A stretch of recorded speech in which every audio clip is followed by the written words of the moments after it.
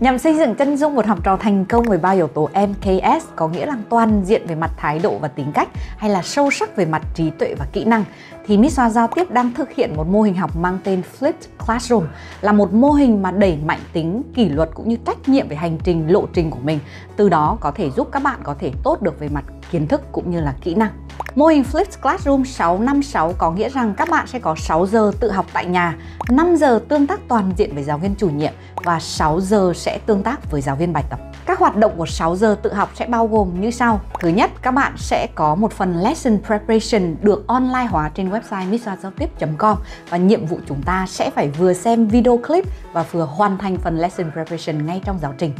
Bên cạnh đấy thì chúng ta sẽ phải có những cái bài tập được hoàn thiện ngay trong app học viên mang tên iMap Educare và các bạn cũng sẽ phải hoàn thành ít nhất trên 90% để chúng ta có thể đảm bảo được mục tiêu khóa học đấy. 5 giờ tương tác với giáo viên chủ nhiệm có nghĩa rằng chúng ta sẽ phải đẩy mạnh tính thực hành nghe nói đọc viết ngay tại lớp, tham gia hoạt động tóm tắt bài học cùng giáo viên và các bạn học viên trong lớp.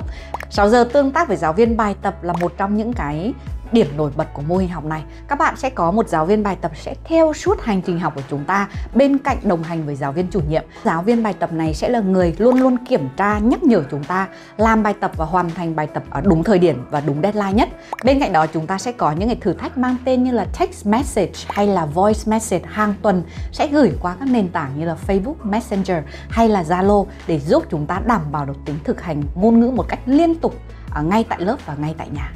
cô A nhận thấy một thực trạng đó là với mô hình học truyền thống thì thông thường chúng ta sẽ đồng hành với một cô giáo chủ nhiệm mà thôi. Và các giờ học của chúng ta thì lại tập trung vừa dạy kiến thức mới vừa thực hành kiến thức mới ngay tại lớp. Vậy thì sự truyền thống đấy nó sẽ quyết định việc là học trò chúng ta luôn thụ động tiếp nhận thông tin một chiều chỉ trong cái thời lượng uh, của chương trình là ba buổi một tuần chẳng hạn. Nhưng mô hình học đảo ngược có nghĩa là gì? Chúng ta đảo chiều cái cách tiếp cận. Người học sẽ được tăng tính chủ động tiếp cận với tài liệu trước ở nhà thông qua các nền tảng online như là website website hay là app iMath Educare. Vậy thì chúng ta sẽ dành thời gian ở nhà tự học trước về mặt kiến thức và sẽ dành thời gian tuyệt đối ở lớp để chúng ta tăng tính thực hành ngôn ngữ. Và làm như vậy thì chúng ta vừa tận dụng thời gian của người học cũng như là tăng tính chủ động của người học và bên cạnh đấy, người giảng dạy sẽ là người mang tính chất định hướng và luôn luôn đồng hành để giúp chúng ta khai phá cái tiềm năng bản thân mình.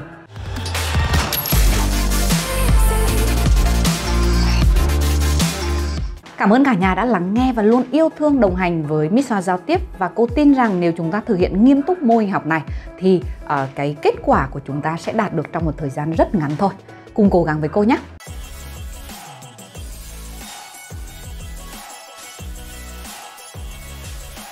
Miss Hoa Giao tiếp, độc quyền phương pháp phản xạ truyền cảm hứng